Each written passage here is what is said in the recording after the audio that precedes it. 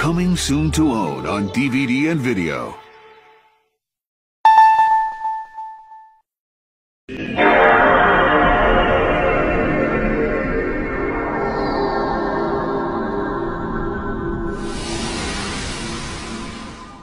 EA Sports. It's in the game.